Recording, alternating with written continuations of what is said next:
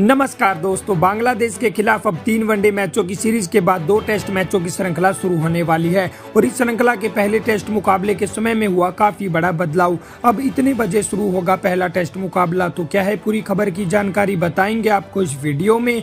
लेकिन दोस्तों, इससे पहले अगर आप भी भारतीय टीम के बहुत बड़े फ़ैन है तो इस वीडियो को एक लाइक और चैनल को सब्सक्राइब कर लीजिएगा।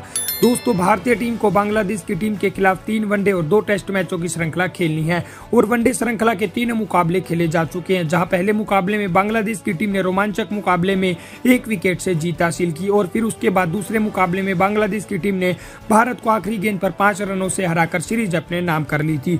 और वहीं कल तीसरे वनडे मुकाबले में ईशान किशन ने ताबड़तोड़ दोहरा शतक जड़ा, जिसके बलबूते पर भारतीय टीम बांग्लादेश की टीम को आसानी से दो सौ सत्ताईस रनों के बड़े अंतर से हरा पाई। और वहीं भारतीय टीम अब चाहेगी कि वनडे श्रृंखला का बदला बांग्लादेश की टीम से टेस्ट श्रृंखला में लिया जाए। और दोस्तों, भारत और बांग्लादेश की टीम के बीच पहला टेस्ट मुकाबला 14 दिसंबर को भारतीय समय अनुसार सुबह नौ बजे शुरू होगा। और इस मुकाबले का टॉस आठ बजकर तीस मिनट पर शुरू होगा।